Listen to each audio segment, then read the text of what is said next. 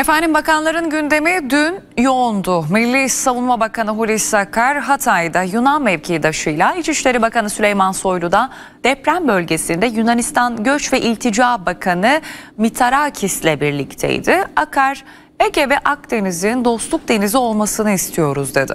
Çevre Şehircilik ve İklim Değişikliği Bakanı Murat Kurum da Sivas'ta anahtar teslim törenine katıldı.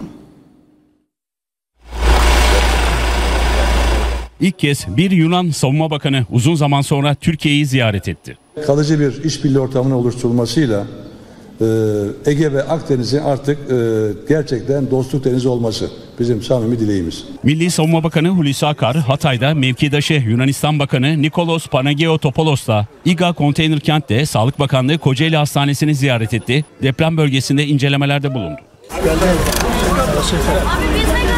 Yunanistan Göç ve İltica Bakanı Notis Mitarakis 6 Şubat'taki Kahramanmaraş merkezi depremlerin etkilediği bölgelere ziyaret gerçekleştirdi. İki bakan sonrasında basın açıklamasında bulundu. Sizin vesilenizle tekrar Yunanistan halkına e, desteklerinden dolayı şükranlarımızı iletiyoruz. Yunan bakansa Türkiye'nin deprem anında harekete geçme hızından övgüyle bahsetti. Bismillah, hayırlı olsun. Çevre Şehircilik ve İklim Değişikliği Bakanı Murat Kurumsa Sivas'ta 746 konut anahtar teslim ve toplu açılış töreninde konuşma yaptı. Sayın Cumhurbaşkanımız Elazığ'da 25 bin konut yapacağız sözünü verdi. Yaptı mı? Elazığ'a gittiğinizde bu konutların yapıldığını görürsünüz.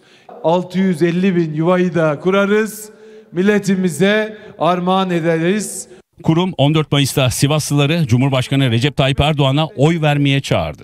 Sivaslılar da tıpkı İstiklal Harbi'nde olduğu gibi 14 Mayıs'ta Anadolu'nun büyük şahlanışını yeniden başlatacak mı?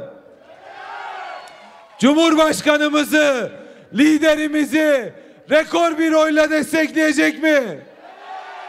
Yatırımlarımızın Sivas'ımıza hayırlı olmasını diliyor. Sizleri Allah'a emanet ediyorum. Bismillah. Hayırlı uğurlu olsun.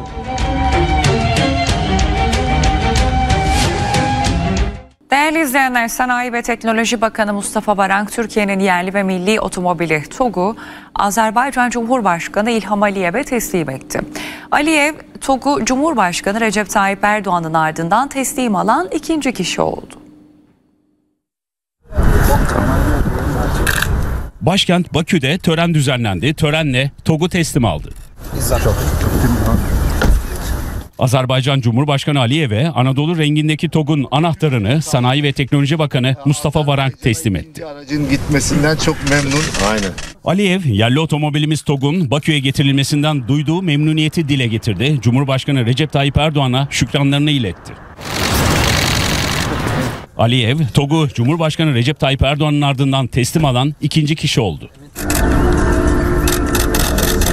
Aliyev, TOG'un ikinci arabasının Azerbaycan'da bulunmasını dostane ve kardeşçe ilişkilerin bir tezahürü olarak değerlendirdi.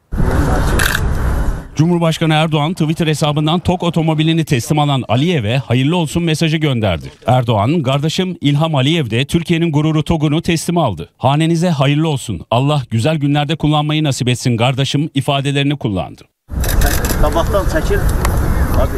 Erdoğan'ın tweetini retweetleyen Aliyev teşekkür etti. TOG'un Cumhurbaşkanı Erdoğan liderliğinde Türkiye'nin sanayi potansiyelinin yayılmasının bir örneği olduğunu vurguladı.